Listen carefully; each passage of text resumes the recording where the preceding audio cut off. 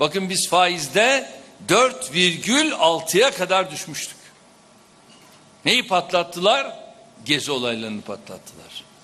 Bir anda hemen 4,6'dan onlu rakamlara çıktık.